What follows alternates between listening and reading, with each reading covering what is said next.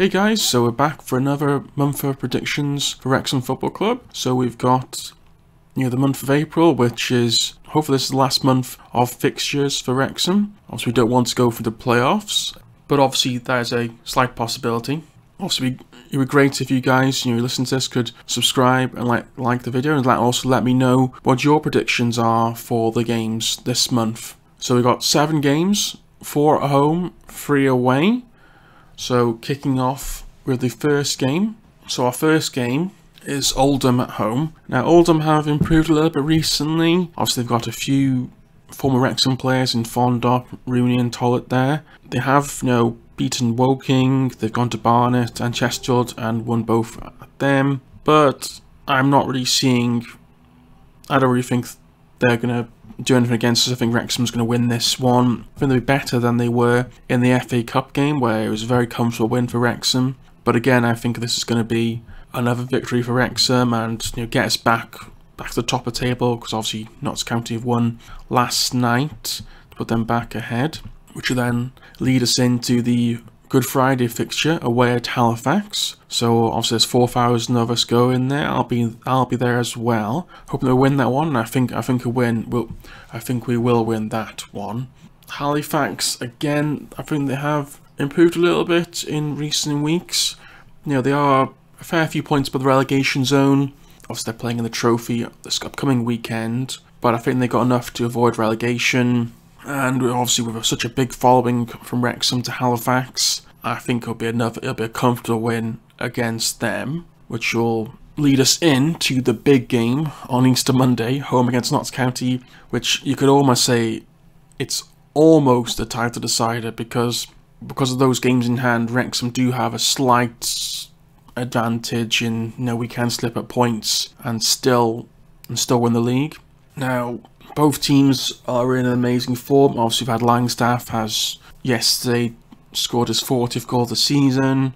I, mm, it's, a, it, is, it is quite a tough one, but with our home records, I'm yeah I'm gonna say Wrexham Wrexham are gonna win this one, which will then put them six points clear following the Easter break, which should should be enough, you know, avoiding any further slip ups, that should be enough for Wrexham to win, well, obviously not win the league on that day, but give us enough room for the rest of the season. Now, following that, we do go away to Barnet. Hmm, Barnet, you know, when we played them in the season, it was that crazy 7 5 game.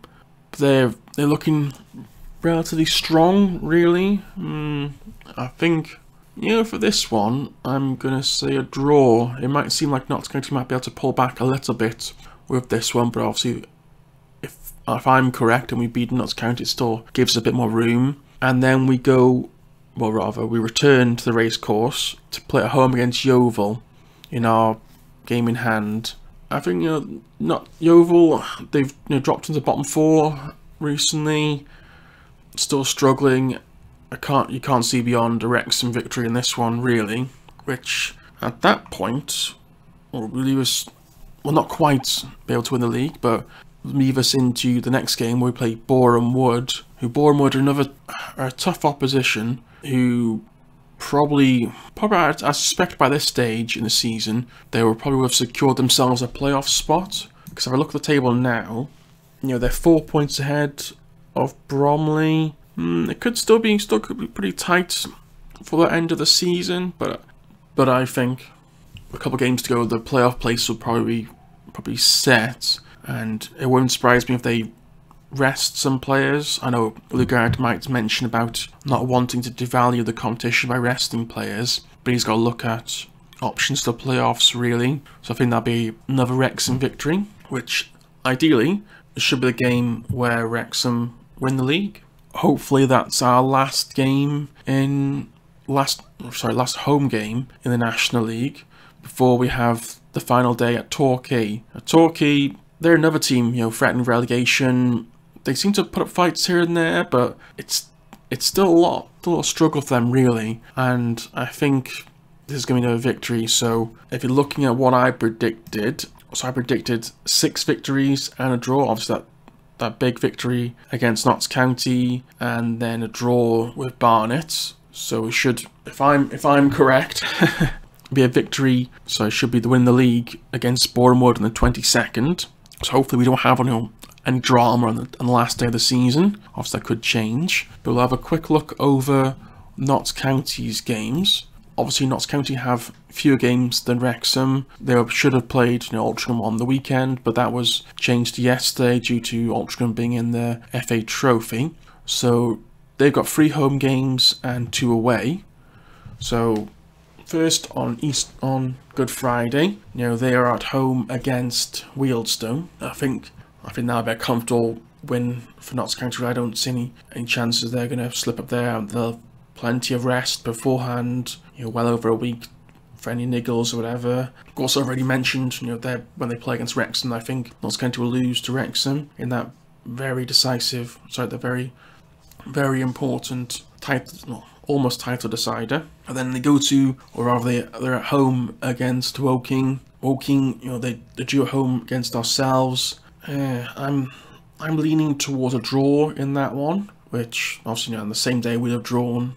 If I'm if I'm correct anyway, we'll have drawn against Barnet and they've drawn against Woking, and then the following week they'll be away at Maidstone, who I've looked like they've been gone for a, been relegated for, for some time now, so that should be another comfortable win for Notts County, and they're probably just hoping that we slip up so they can take it to the final game. And then they, they finish off at home against York, which again I think that's going to be a win for Notts County. So I think we're going to see three three wins, a draw and defeat for Notts County in the final game.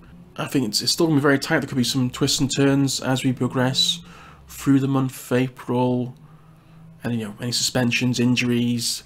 But I think this will be the month that Wrexham will finally get over the line, finally win the league and get promoted. Um, I do hope that actually Notts County win the playoffs as well because it would be a shame, you know, for a team to also break 100 points like Wrexham to miss out on it. And obviously, you've got a player Langstaff who scored you know 40 goals at the moment and looks like he's going to break a fair few more goal scoring records over the next month. It'd be great to hear what you all think as well. You know, do you think Wrexham will beat Notts County? Can you see any other further slip-ups from from either team? And you know, let me know what you think. Let me, it'd be great to hear from you. Don't forget to subscribe. Please like the video, and we'll chat with you soon. Thanks. Bye bye.